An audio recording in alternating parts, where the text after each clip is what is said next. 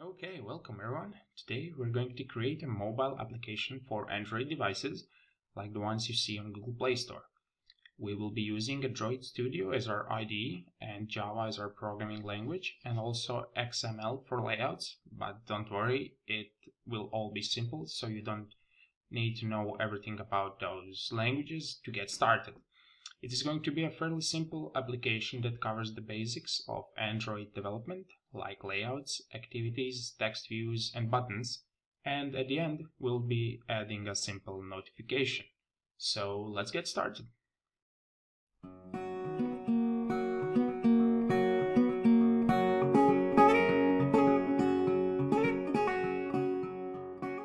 Okay, the first thing we want to do is create our project. So open up Android Studio and click File, New Project, and once you're on this screen, choose Empty Activity. Activities are basically screens users can interact with, and then click Next. Once you're on this screen, you can choose the name of your application. I'll name it Simple Counting App. In here, you choose your package name and your save location. You can put it anything you want. And here you choose the language, so you can you, you can choose Kotlin or Java. We'll be using Java.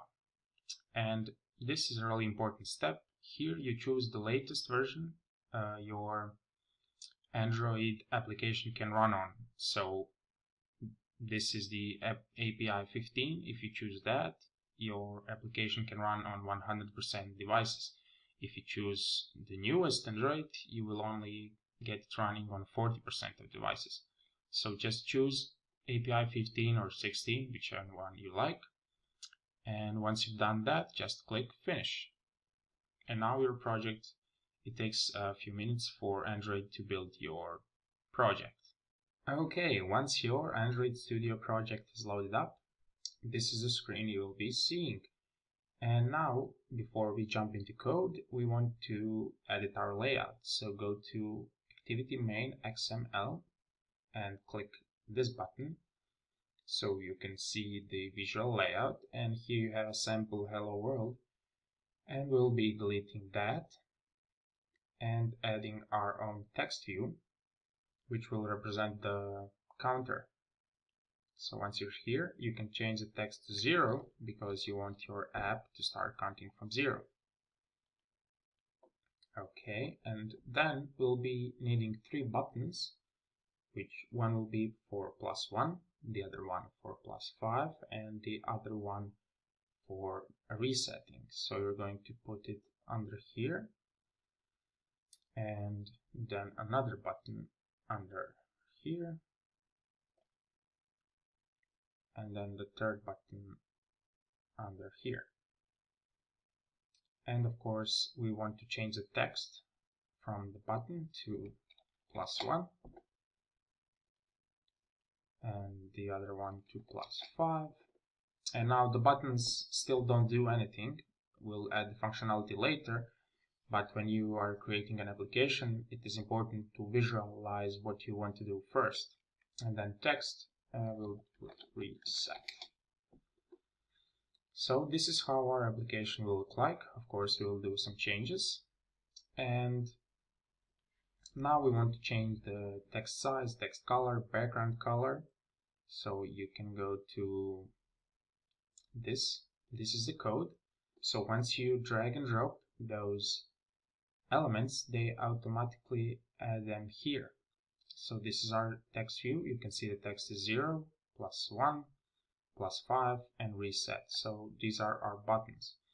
And we're going to be changing the color here.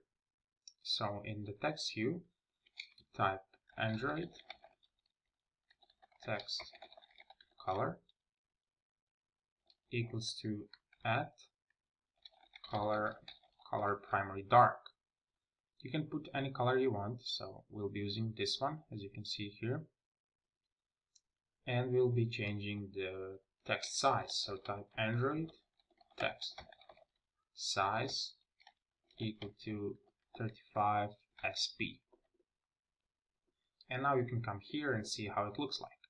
So as you can see we increased it and changed the color. And we're going to do the same thing for our buttons.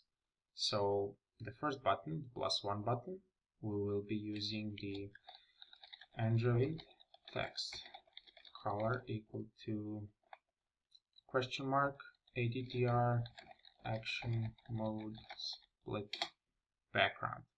So this is the color we'll be using and for our other two buttons we'll be using the same color so you can copy this and paste under the plus 5 and reset and now of course we want to change the text size.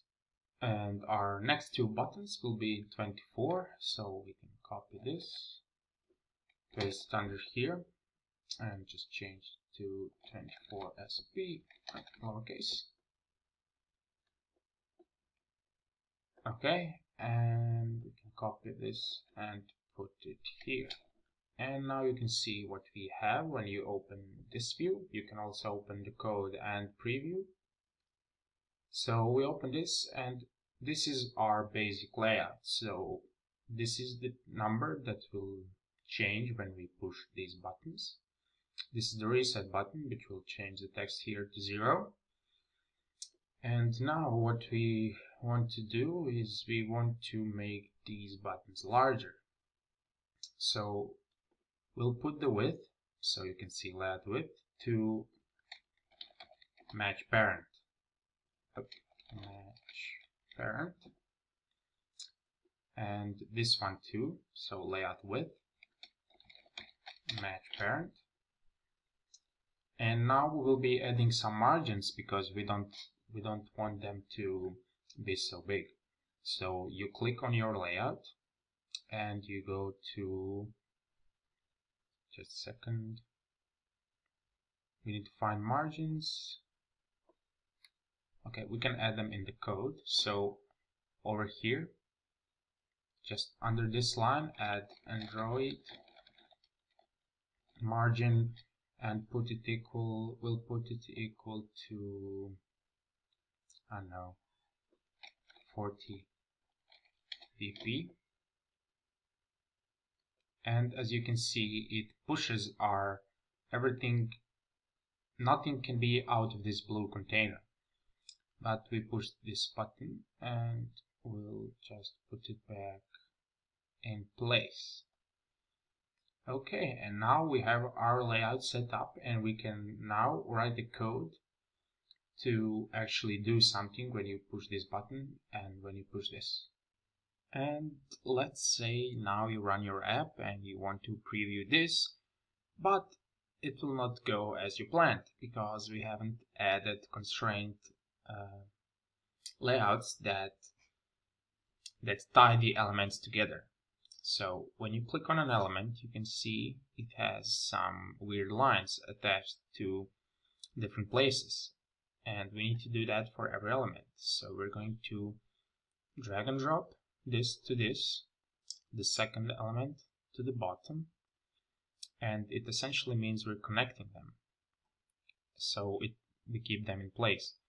So we're going to put this up here. We're going to put this up here. And we're going to put this up here.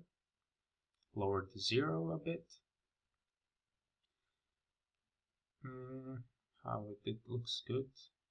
Like this. So we're going to add these two buttons together. This will be a little above them. And then the reset button up here. And let's just okay let's leave it like this. And now when you added horizontal and vertical constraints everything will be tied up together and everything will be in place. And now we can move to the code section. And now we're finally in our Java code. I already prepared some code in here for us and we'll go over that and explain it line by line. So the first thing we want to do is create our field variables. So this one will represent the button. This one re will represent the text on the screen this is uh, the counter that will be increasing every time we push the button and then we're going to display it as a counter.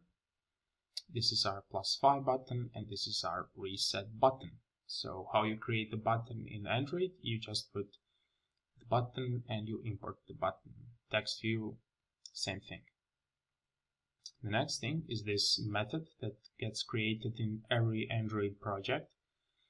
So it's a method which is called when you run your app. So every time you run your app, this code executes. And as you can see, we have some errors here and we're going to fix them right now. So the first error is in, in the creation of our first button. So how, you, how do you link this, this button to this button which we created here? You need to know its ID. So this is the ID of the button and you take it from there by applying this method. So find view by ID r.id and then you put the ID. So ID of our first button is button. You usually want to name them something more descriptive, but this will do just fine for this project. Next is the counter. So you do the same thing. Our counter is this text view. So we find our text view and we go back here and say find view by ID r.id dot text view. And now we linked our button from Java to our XML button on the layout. And we set uh, set text to current count and current count is zero. So we set this text to zero and we convert it to a string with these. Next is creating our plus 5 button. So you do the same thing, find view by ID and the ID. This is our second button, so it's button 2. And our reset button is button 3. And now we have our app, but it still doesn't do anything because we haven't linked our buttons to do anything. And we do this process in here. So basically, what you want to do is link your buttons to on-click listeners. And this is how you do it. So after you link your button to XML, you need to do button name dot set on click listener. And then inside these parentheses, you say, okay, create me a new on click listener. And every time it's clicked, do this method. So what do we do when we click the plus one button? We increase the current count by one and set the text equal to our current count. Okay, what do we do when we press the plus five button? So we create a new on-click listener and what does it do? It increments it by five and set the text equal to current count. And what should our reset button do? Well, it should set the current count to zero and it should set the counter text to 0. And that's pretty much it. Now we have our working app and the only thing we need to do is the notification. So under here, yeah, under here, every time you run the app, you want to create a notification. The way you can do that is by adding this line. So it's called a toast notification. It's a short notification that just pops up and these are the parameters it takes. So this refers to the current object. Text, you can put anything you like, and then length, there's length short and length long. And once you create a toast object, you want to show it. And that's it, our app is ready to be tested. Let's rerun the app so we can see the notification. So click that and let's wait for it to reload. And we should see the notification. And there we go. There was our notification and this is our application that works. So you can push this button and this text changes. You can add five you can reset you can add as many like it's a simple app but it's good to know basic concepts of android app development Congratulations, you have just created your first Android application, and that's pretty cool. If you have any questions, feel free to ask them in the comments and I will be glad to respond. See you in the next video.